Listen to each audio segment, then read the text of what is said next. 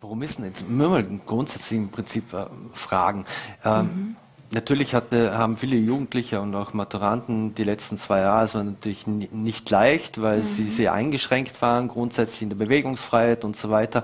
Aber den jungen Menschen sagt man zumindest immer nach, die haben alle Möglichkeiten heutzutage. Warum haben denn die oder warum fällt es dann so schwierig, die richtige Berufs- oder Studienwahl für viele junge Menschen zu treffen? Mhm ich würde sagen, genau deshalb, weil es so viele Möglichkeiten gibt.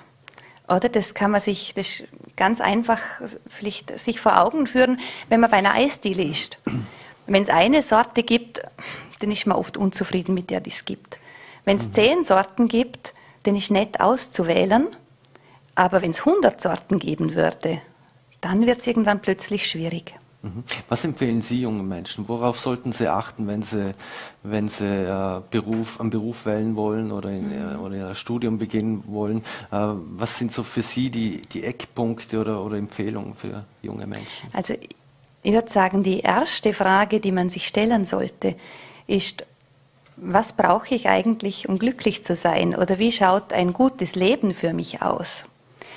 Äh, wie möchte ich später mal leben und arbeiten? Also wirklich sich so, so selbst zu hinterfragen und ja, da schauen, was gibt mir Energie, was kostet mich Energie.